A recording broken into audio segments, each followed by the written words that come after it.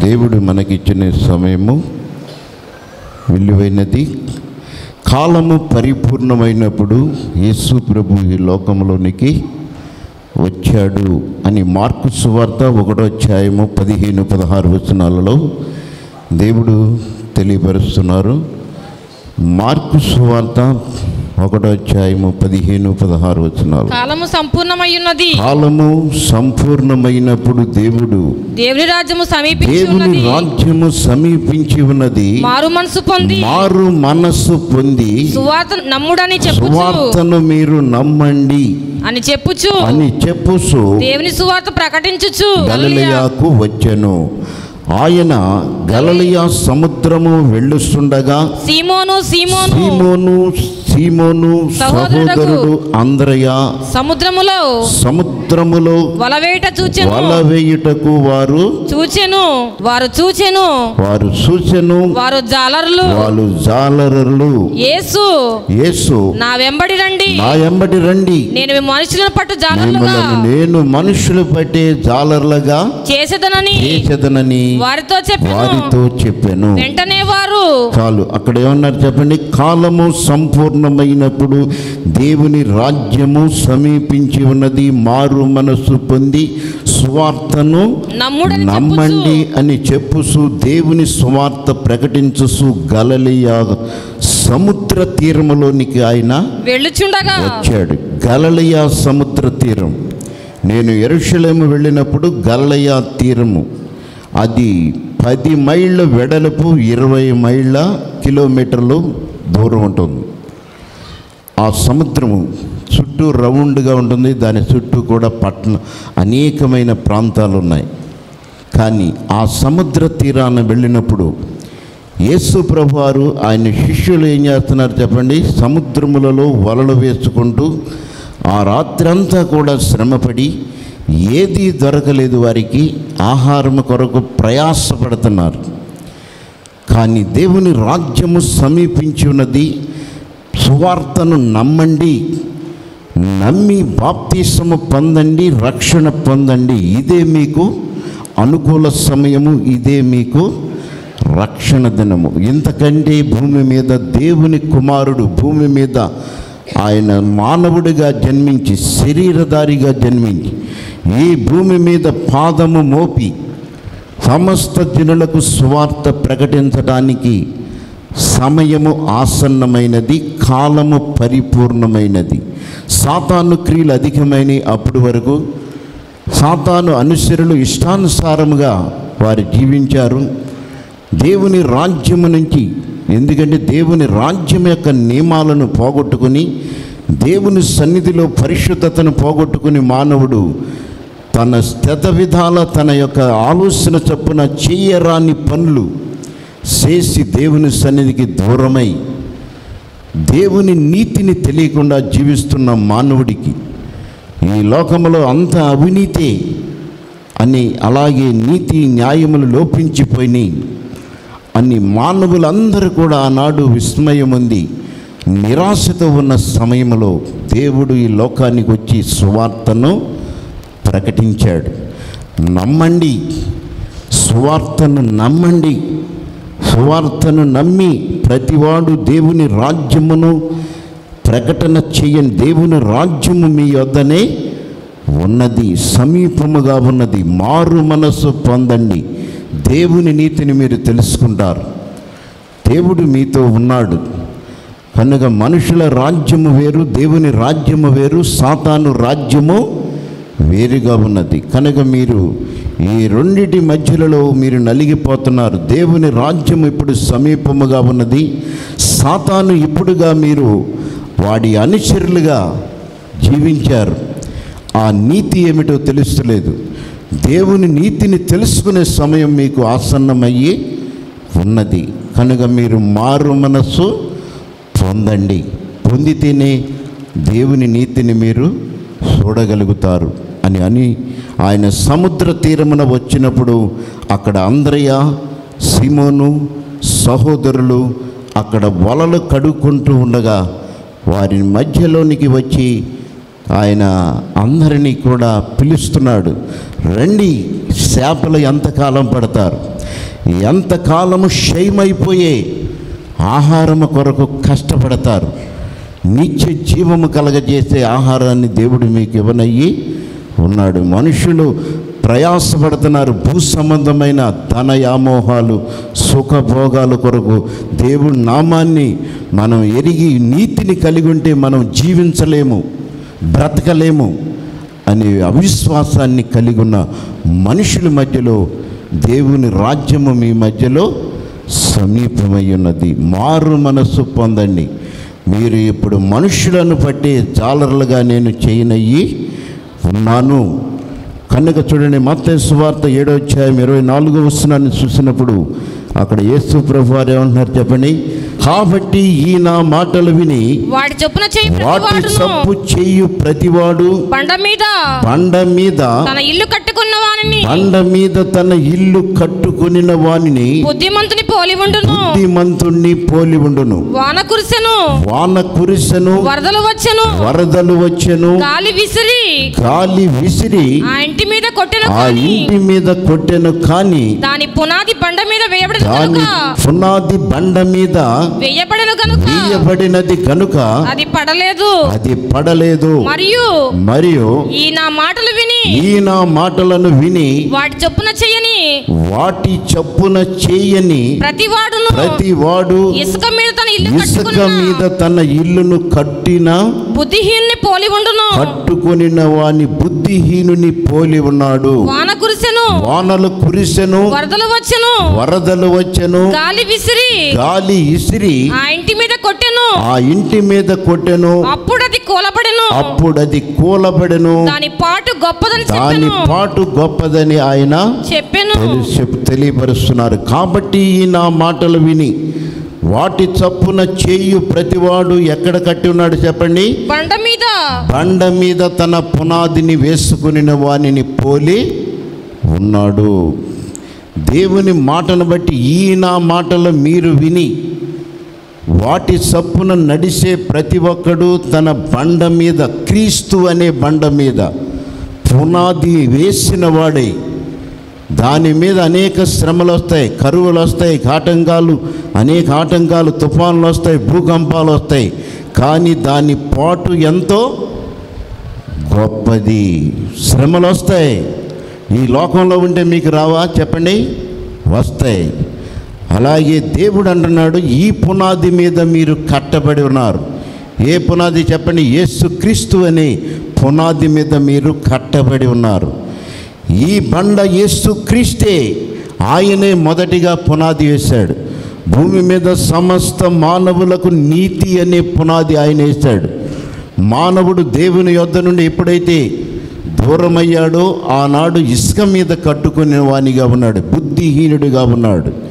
కనుక అనేక శ్రమలు అతనిని కలవరపరుస్తున్నాయి అతని జీవితాన్ని పాడు చేసినాయి కానీ రండి మీరు క్రీస్తు అనే బండ మీద మీరు కట్టుకునండి.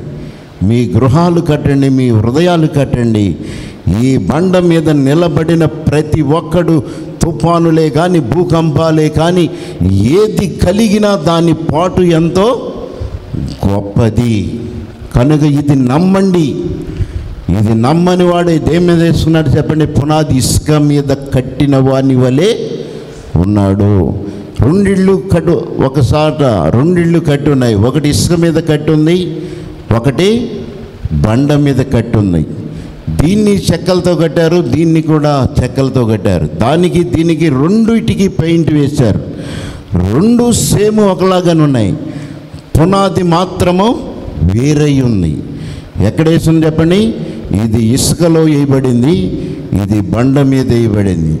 కనుక వాన వచ్చింది తుఫాను వచ్చింది భూకంపం వచ్చింది కానీ అది పాటు ఎలా ఉందో చెప్పండి? ఇసుక మీద వేయబడింది కనుక అది నిర్మూలమైపోయింది.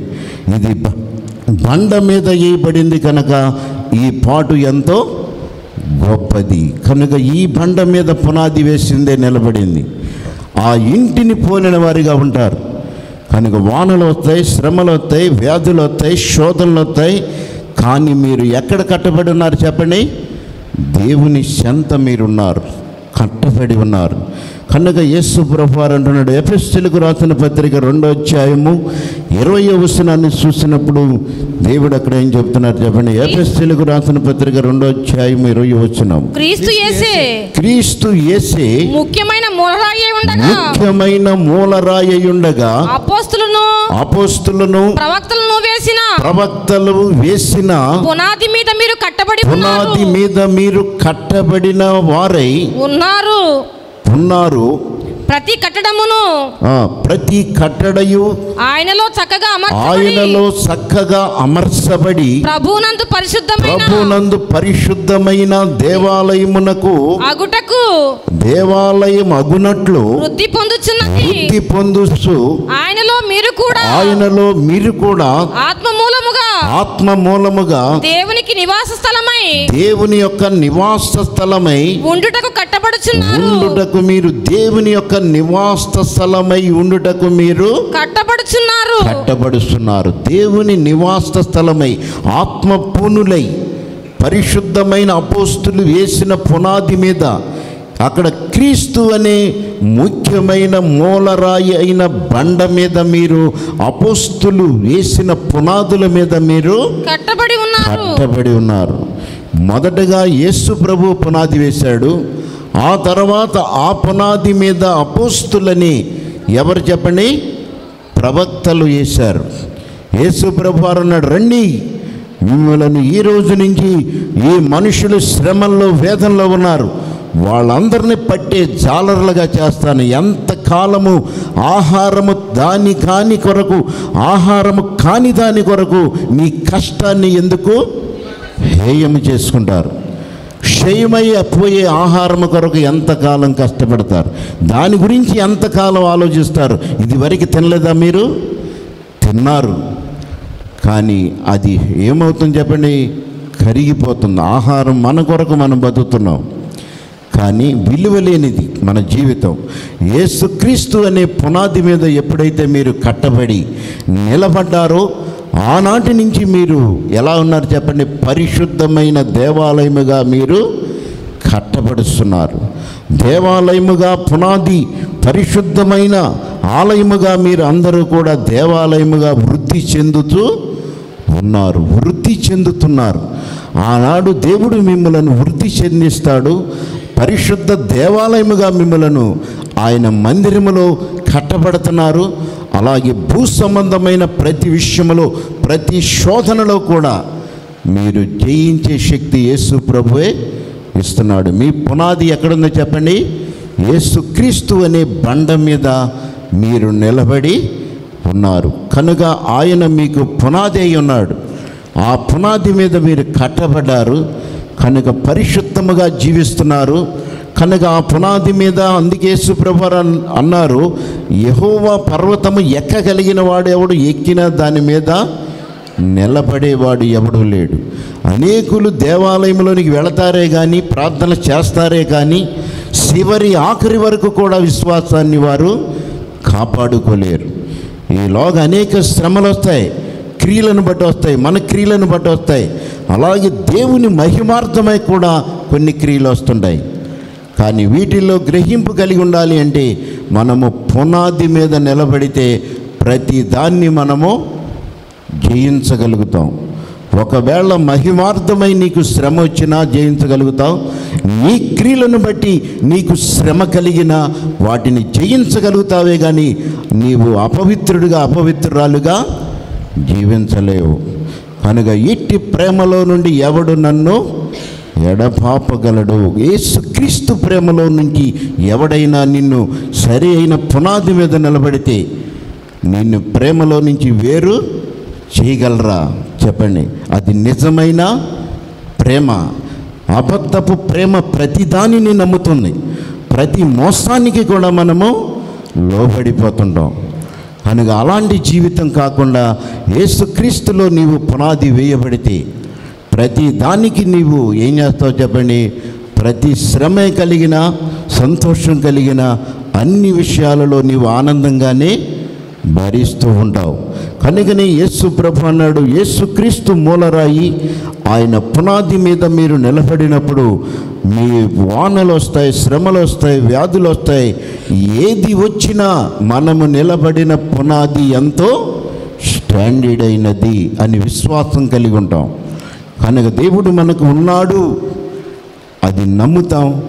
ఆ శక్తి ఆ కృపను మనము చూడగలుగుతాం. అలాగే చూడండి ఒకటో కొరింది మూడో అధ్యాయము పదకొండవ సినిమలో వారు ఎలాంటి కట్టులు కట్టుతున్నారు చెప్పండి. ఒకటో కొరింది మూడో అధ్యాయము పదకొండు పద్నాలుగు వరకు చదవండి. చెప్పండి. వేయబడినది తప్ప.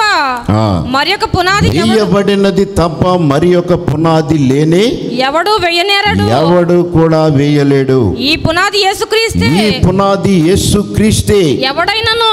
ఎవడైనను? ఈ పునాది మీద ఈ పునాది మీద బంగారము బంగారము వెండి వెండి వెలగల రాళ్ళు వెల కలిగిన రాళ్ళను కర్ర కర్ర గడ్డి గడ్డి కొయ్యకాలు కొయ్యకాలు మొదలైన వాటితో మొదలైన వాటితో కట్టిన ఎడల కట్టిన ఎడల వాని వాని పని కనబడును. వాని వాని పని కనబడును. ఆ దినము ఆ దినము దాని తేటపరచును. దానిని తేటపరుసును. అది అగ్ని చేత అది అగ్ని చేత బయలుపరచబడును. మరియు మరియు వాని వాని పని ఎట్టిదో వాని వాని పని ఎట్టిదో దాని అగ్నియే దానిని పరీక్షించును అగ్నియే పరీక్షించును. పునాది మీద పునాది మీద ఒకడు కట్టిన పని ఒకడు కట్టిన పని నిలిచిన ఎడల వాడు జీతమును పుచ్చుకొనును. జీతం పుచ్చుకుంటాడంట. నీ పని కనబడుద్ది అంటున్నాడు. ఎలా కనబడుద్ది చెప్పండి? యేసుక్రీస్తు అనే పునాది. ఎవడైనను ఏమన్నారు చెప్పండి? ఎవడైనను వేయబడినది తప్ప మరి ఒక పునాది ఎవడు కూడా వేయలేదు. యేసుక్రీస్తు మీద పునాది. యేసుక్రీస్తుకు నేనే పునాది. మొదటగా నేను నిలబడ్డాను దేవుడు నన్ను ఆశీర్వదించాడు అనడానికి వీల్లేదు. యేసు ప్రభు నిన్ను నిలబెట్టాడు గనక నీవు నిలబడ్డావు.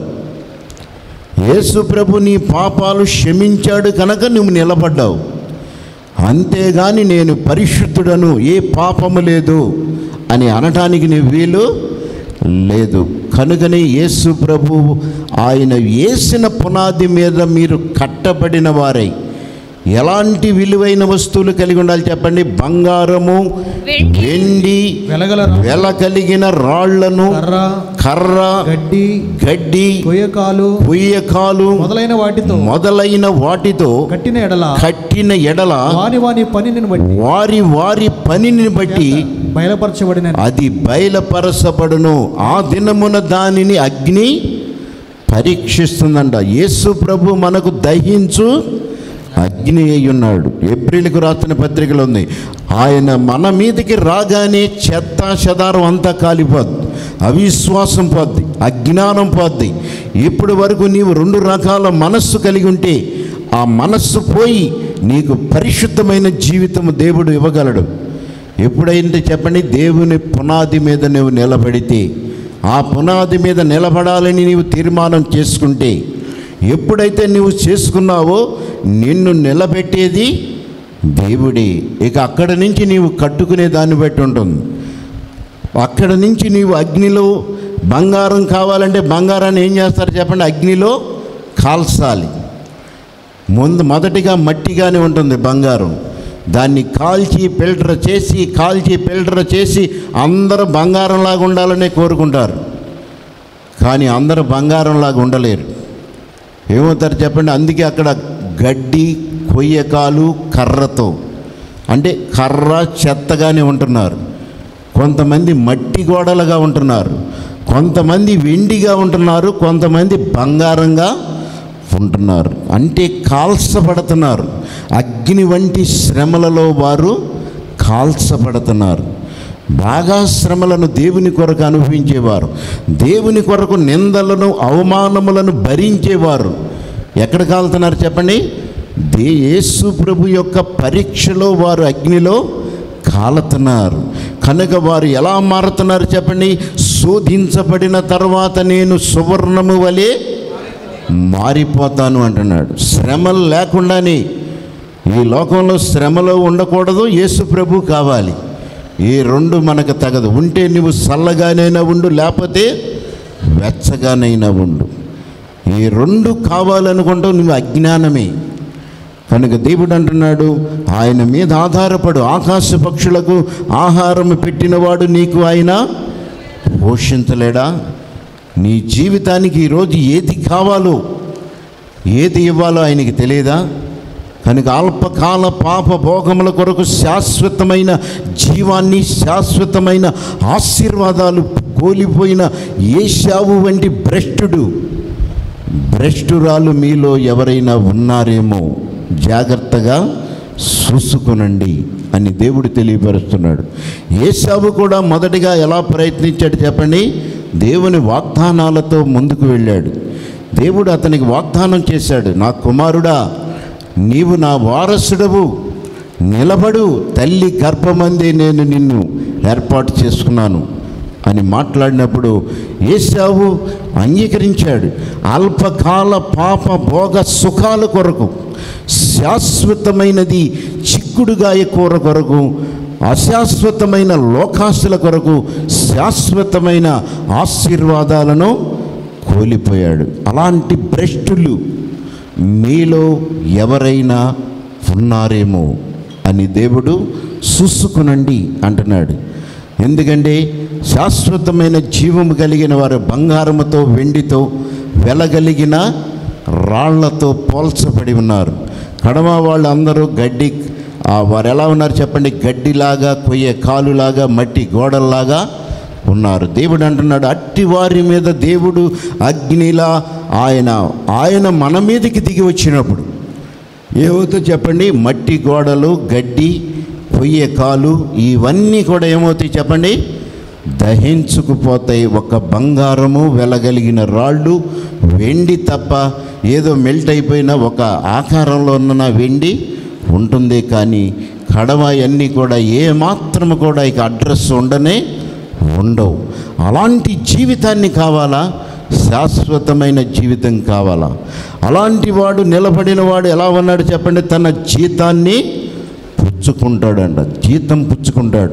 ఆనాడు పరిశుద్ధుడు ఎవడో అపవిత్రుడు ఎవడో ఆనాడే తేటపరచబడుతుందని దేవుని లేఖనము తెలియపరుస్తుంది. కనుక చూడండి ఎహెస్కేలు గ్రంథము పదమూడో అధ్యాయము పద్నాలుగో వచనములో అక్కడ చూడండి ఎహెస్కేలు గ్రంథము పదమూడో అధ్యాయము పద్నాలుగో వచనం. దాని పునాది కనబడినట్లు దాని పునాది కనపడినట్లు మీరు గచ్చుపోత పూసిన గోడను మీరు గచ్చుపోత పూసిన గోడను నేను నెలతో సమముగా నేను నేలతో సమముగా కూల్చెదను. కూల్చెదను. అది పడిపోగా. అది పడిపోగా దాని క్రింద మీరును నాశనమగుదురు. దాని మీద మీరు కూడా నాశనమగుదురు. నాశనమగుదురు. అప్పుడు నేను యెహోవానని. అప్పుడు నేను యహోవానై ఉన్నానని మీరు తెలుసుకొందురు. మీరు తెలుసుకుందరు. ఇలాగున? ఇలాగున? ఆ గోడ మీదను. ఆ గోడ మీదను. దాని మీద గచ్చుపోత పూసిన వారి దాని మీద గచ్చుపోత పూసిన వారి నా కోపము నేను నా తీర్చుకొని కోపమును నేను తీర్చుకొని. తీర్చుకుని. ఆ గోడకును. ఆ గోడకును. దానికి పోత పూసిన వారికి దానికి పూత పూసిన వారికి పని తీరనని. పని తీరునని. మీతో చెప్పుదును. మీతో నేను చెప్పుస్తున్నాను. ఆనాడు గచ్చు పూత మీరు పుయ్యమంటే అనేకులు పోస్తానికి రెడీగా ఉన్నారు. ఆ రోజున మీరు అంగీకరిస్తే ఎవరైనా పూయటానికి సిద్ధంగా ఉన్నారు. మట్టి గోడకు ఏం చేస్తారు చెప్పండి? గచ్చు పూత పూసే మాటలు అనేక ఉన్నాయి. కనుక అది ఇప్పుడు కనపడకపోయినా ఎప్పుడు కనపడుతుంది చెప్పండి?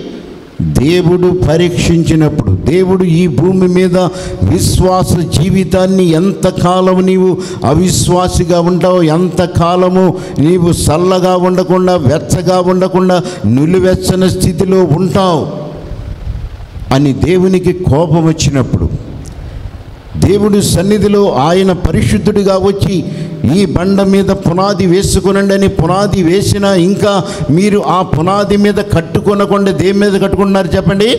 ఇసుక మీద కట్టుకునిన వారు. ఇసుక మీద కట్టడమే పునాది తప్పనుకుంటే ఆ మట్టి గోడ కట్టి దానికి మరలా గచ్చుపోత పోస్తున్నారు. దేవుడు ప్రభావముగా దాని మీదకు వచ్చినప్పుడు నీ భక్తిహీనత క్రియలు నీలో అక్రమాలు అవినీతి ఆ రోజు బయటపడి ఏమవుద్ది చెప్పండి? ఆ గోడ పడి దాని కింద మీరు చనిపోయి ఆ పని తీరునని మీతో నేను నిశ్చయముగా చెప్పుస్తున్నాను. దేవునికి స్తోత్రము. అరలే కనుక నిజమైన భక్తి యథార్థమైన క్రియలు ఈరోజు అందరూ కూడా ఇష్టపడతలా. తాత్కాలికంగా వారి శ్రమల నుండి ఏ రీతిగా బయటపడాలి? ఏ రీతిగా పాపమును వదిలించుకోవాలి? ఏ రీతిగా జీవితాన్ని పరిపూర్ణులు కావాలి అని అంటున్నాడు. రండి మనం వివాదం తీర్చుకుందాం అంటున్నాడు. యెషయా గ్రంథంలో ఆయన ఏమంటున్నాడు చెప్పండి? ఒకటో అధ్యాయం పద్దెనిమిదో సినిమలో యెహోవా ఈ మాట మీతో సెలవిచ్చుస్తున్నాడు. రండి. రండి. మన వివాదము మనము వివాదము తీర్చుకుందుము. మీ పాపములు మీ పాపములు రక్తము వలె ఎర్రనివైనను. రక్తము వలె ఎర్రనివైనను. అవి హిమం వలె తెల్లబడును. అది హిమము వలె తెల్లబడును. తెల్లబడును. కెంపు వలె కెంపుల వలె ఎర్రనివైనను ఎర్రనివైనను అవి గొర్రె అది గొర్రెపొచ్చు వలె తెల్లనివగును తెల్లని వగును అంటున్నాడు. రండి వివాదం తీర్చుకుందాం. మీకు నాకు ఎందుకు వచ్చింది? నేను మీతో మీ మాటలు వింటున్నాను. చెవి యొక్క మీ మాటలు నేను పరీక్షిస్తున్నాను అంటున్నాడు. చూడండి ఇరవై గ్రంథం ఎనిమిదో అధ్యాయము. చూడండి ఎనిమిదో అధ్యాయం ఐదు ఆరు వచనాల్లో కూడా చూడండి. నేను చెవి యొగ్గి వారి మాటలు విని ఉన్నాను. విని ఉన్నాను. పనికి మాలిన మాటలు. పనికి మాలిన మాటలే వారు ఆడుకొనుచున్నారు. వారు ఆడుకొనుస్తున్నారు నేనేమి చేస్తున్నాను నేను ఏమి చేతిదినని చెప్పి. చెప్పి తన చెడుతనమును గూర్చి. తన చెడుతనమును గురించి లేకపోయెను. పశ్చాత్తాపడేవాడు ఒక్కడు కూడా లేకపోయెను. లేకపోయెను. యుద్ధమునకు చొరబడు గుర్రము వలె. యుద్ధమునకు గుర్రముల వలె. ప్రతి వాడును ప్రతి వాడు ఏం చేస్తున్నాడు చెప్పండి? తనకిష్టమైన మార్గమునకు తనకిష్టమైన మార్గాలలో తిరుగులాడుతూ ఉన్నాడు. వారి మాటలు వింటున్నాను. రండి నేను వివాదం తీర్చుకుందాం. దేవుడితో యాజ్యమాడేవాడు ఏ నరుడైనా ఉన్నాడా? చెప్పండి ఎవడూ లేడు. దేవునితో వాదించేవాడెవడూ లేడు. నా పాపాలు ఏంటయ్యా? నేను ఎప్పుడు పాప పాపినేనా అని అంటం కాదు. దేవుని సన్నిధిలో నీవు ఆయన క్షమించే వరకు కూడా నీవు పాపివే. ఎప్పుడైతే నీవు రక్షణ పొందావో ఎప్పుడైతే తప్పు మార్గంలో నడిచావో ఆనాడు నీవు దేవుని చేత ఆయన వాగ్దానం మరలా తిరిగి వచ్చేంత వరకు కూడా నీవు పాపివే కానీ ఈ మధ్యలో పరిశుద్ధుడు నీవు కానే కాలేవు. ఏ రోజు అనేకులు అనేక విషయాలలో దేవుడు ఎందుకంటే వారికి కలలే రాని ఏదన్నా రాని కానీ వారు ఏం చేస్తున్నారు చెప్పండి? వారు ఏర్పాటు చేసిన వారి కోర మీద కాపర్లుగా నిర్మించిన కాపర్లను మర్చిపోతున్నారు. అల్పకాల పాప భోగముల కొరకు సుఖాల కొరకు అనేక శ్రమలు కోరుకొని వారు ఏం చేస్తున్నారు చెప్పండి? దేవునితోనే వాదించేవారిగా మారిపోతున్నారు. దేవునికి స్తోత్రము. అరలేక